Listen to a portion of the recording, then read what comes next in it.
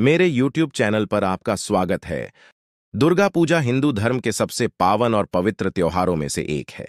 इसकी तैयारी में लोग महीनों पहले से लगे होते हैं। नौ दिनों तक चलने वाले इस पर्व में माँ दुर्गा के अलग अलग स्वरूपों की पूजा की जाती है। माँ दुर्गा को अंबा, चंडी, काली, चंद्रिका, दुर्गा के अलावा महिषासुर मर्दिनी नाम से भी पुकारा जाता है। वैसे तो नवरात्र पूरे देश में बेहद धूमधाम से मनाया जाता है, लेकिन बंगाल, झारखंड उड्डीसा असम में इसकी अलग ही रौनक देखने को मिलती है। जगह जगह माता के पंडाल लगाए जाते हैं, जहाँ लाखों की संख्या में भक्तगण माता के दर्शन करने आते हैं।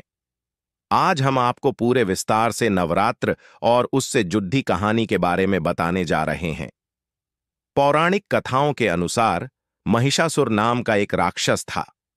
कठोर तप करके महिषासुर ने ब्रह्मा जी को प्रसन्न कर लिया था। महिषासुर की तपस्या से खुश होकर ब्रह्मा जी ने उसे अमर होने का वरदान दे दिया।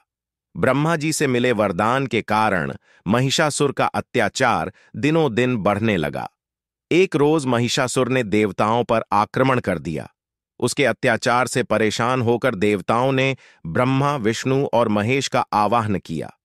ब्रह्मा ने महिषासुर को वरदान दिया था कि कोई भी पुरुष या देव उसका वध नहीं कर सकता। ऐसे में ब्रह्मा, विष्णु और महेश ने आदिशक्ति का आवाहन किया, जिसके बाद माँ आदिशक्ति देवी दुर्गा का रूप में प्रकट हुई।